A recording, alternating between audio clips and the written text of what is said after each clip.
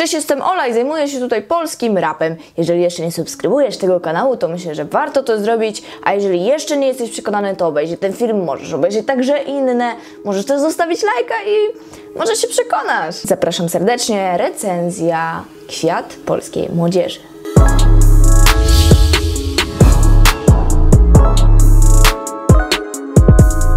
Także kilka dni temu dostaliśmy taki właśnie oto produkt e, spod rąk BDS-a oraz oczywiście Kubiego producenta, ponieważ e, nie można go tu pomijać. Uważam, odwalił kawał dobrej roboty. Dostaliśmy krążek, który jest diametralnie inny od tego, który został wydany ostatnio przez właśnie chłopaków. Tamten był typowo imprezowy, słychać było to, że BDS ma te tam 19 lat i że jest, można powiedzieć, niedoświadczonym gnojkiem. Znaczy, może niedoświadczonym to złe określenie, ale takim naprawdę rozwydrzonym gnojkiem. Pomimo tego, jaką historię miał za sobą, e, ponieważ ta historia nie wydarzyła się przez rok, tylko przez całe jego życie, i pomimo to, według mnie, robił bardzo słabą muzykę, ja sama za nim nie przepadałam. Natomiast tutaj mamy już całkowicie inną sytuację. Rok 2018 i Kwiat Polskiej Młodzieży uważam jest to ogromny przełom w karierze BDS-a, bardzo na plus. Płyta jest dużo bardziej dojrzała, mi się bardzo podoba, ponieważ ma przekaz. Już nie mówi o byle czym i nie stawia tylko na brzmienie, pomimo tego, że brzmi dobrze, tylko stawia także na tekst i na treść, co mnie bardzo urzeka. Plus oczywiście to brzmienie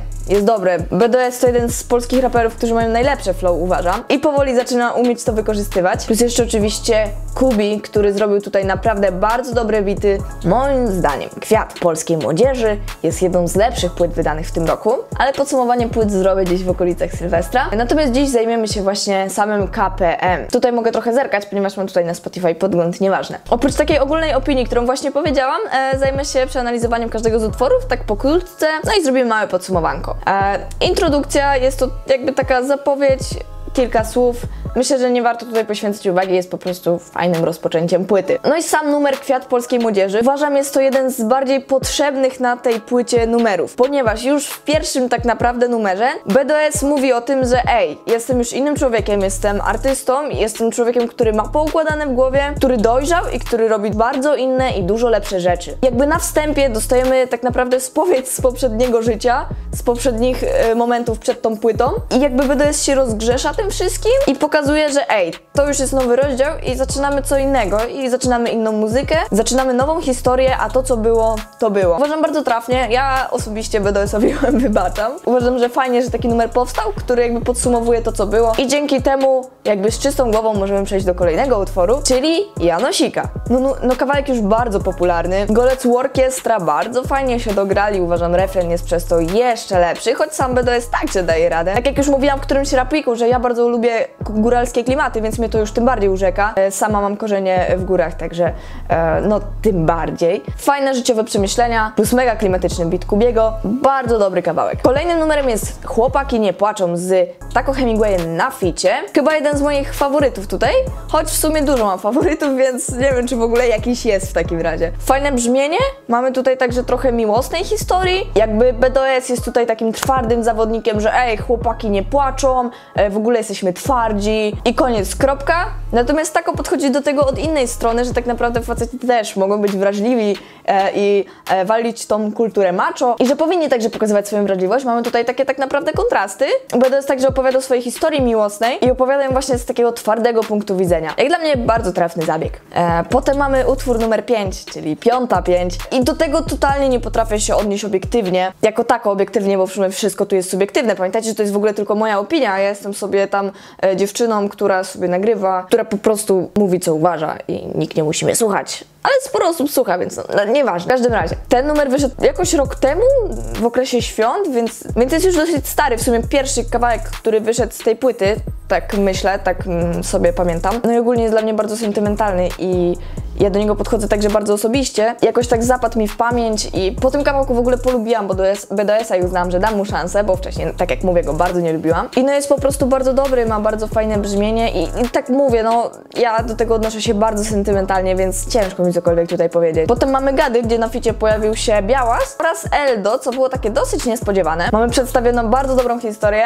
Sam refren e, nie wierzę w reinkarnację, lecz ludzie zamieniają się w Gady. Uważam, że to bardzo fajnie brzmi lirycznie. Props także za wers mam w plecach noże niczym jeże. Uwielbiam jeże.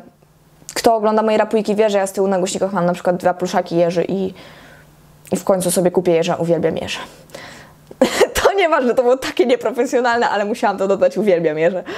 Mamy mocno, emocjonalnie. Mamy tu także bardzo fajne nawiązanie do właśnie kawałka Chłopaki nie płaczą, że on tak naprawdę tam kłamał, że nie płacze i że jest taki twardy, ponieważ nie, nie chciał pokazać swojej słabości. Uważam, jest to naprawdę bardzo fajny plot twist. Także mamy bardzo osobiście i bardzo poprawnie od Białasa e, zwrotkę, która także uważam jest bardzo dobra i nie ma niej nic do zarzucenia. Jak ze samym Eldo jakoś bardzo nie przepadam i jego muzyka nigdy specjalnie do mnie muzycznie nie trafiała, tak tutaj uważam bardzo fajnie nawinął.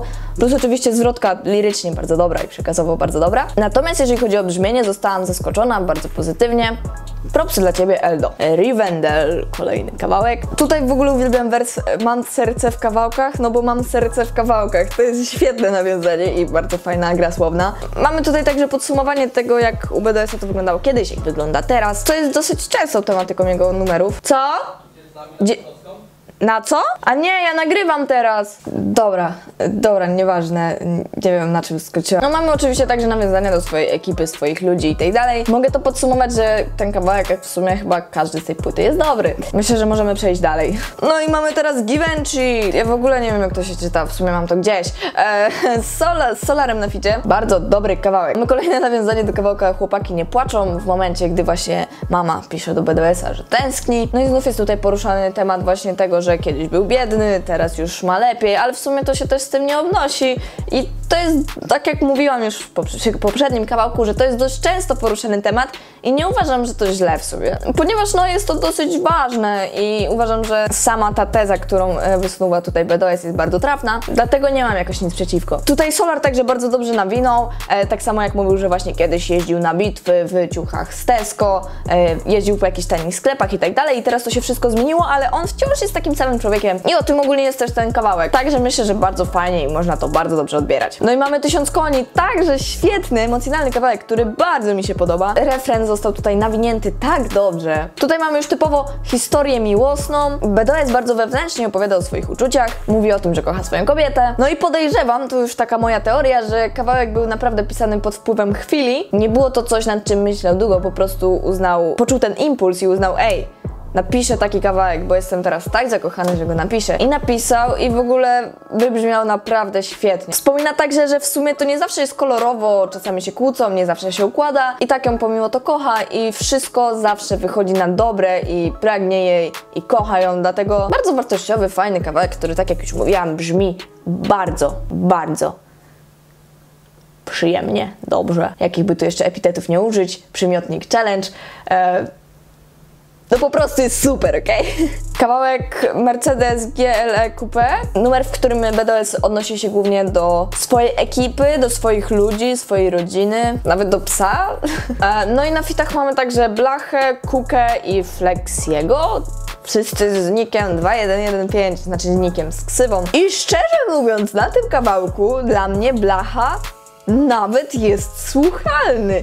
Nie, w sensie ja za chłopakami specjalnie nie przepadam, e, dlatego myślę, że ogólnie spoko tutaj nawinęli, bo tak jak mówię, ja za nimi nie przepadam, ale na tym kawałku da się ich słuchać. No ale fajnie, że zaprosił tutaj swoich kumpli, którzy są dla niego ważni, e, fajnie, że pozwolił im się dograć i że razem jakoś to zrobili naprawdę fajny sposób. No i mamy tutaj Toy Story z Rafonixem na ficie, co w ogóle to był chyba najbardziej niespodziewany fit z tej płyty, nawet bardziej niż Golce. Mamy tutaj także podkreślenie tego, że sam BDS jest właśnie graczem, że bardzo lubi gry, że na tym się też wychował. No jakby tu po prostu wyraża swoje zamiłowanie do gier. Mówi, że to one go tak naprawdę po części także wychowały. Nie wiem, czy jest tutaj co więcej omawiać. Bardzo fajny kawałek z dobrym brzmieniem, plus klip do niego był świetny.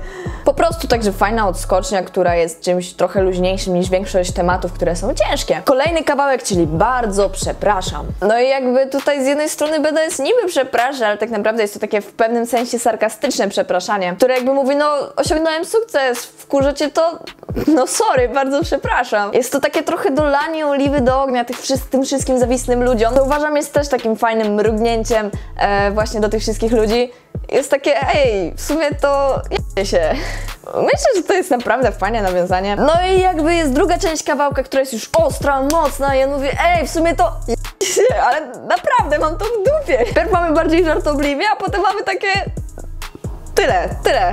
Jakby śmieje się także ze środowiska, którego, z którego pochodzi, w którym się wychował, ale nie w taki negatywny sposób, że się naśmiewa, e, tylko po prostu widać, że byli tam ludzie, którzy naprawdę źle go traktowali i on teraz e, się z nich śmieje, śmieje się także z hejterów, którzy właśnie nazywają go często bananem, co oczywiście prawdą nie jest, jak wiemy. No i po prostu takim ostrym, mocnym wokalem chce pokazać to, jak jest naprawdę. No i tutaj mamy kawałek Delfin. Uważam, że są trochę w klimatach tego starego BDS-a, który był taki agresywny, wyszczekany, e, co w tym kawałku brzmi naprawdę fajnie i mówi, że nie ma tego, czego on by nie zrobił. Jeżeli coś trzeba zrobić, to on to zrobi. Nie ma dla niego rzeczy niemożliwych. Myślę, że jest to bardzo fajny przekaz i jeżeli trzeba będzie, no to sprzeda delfinowe wodę.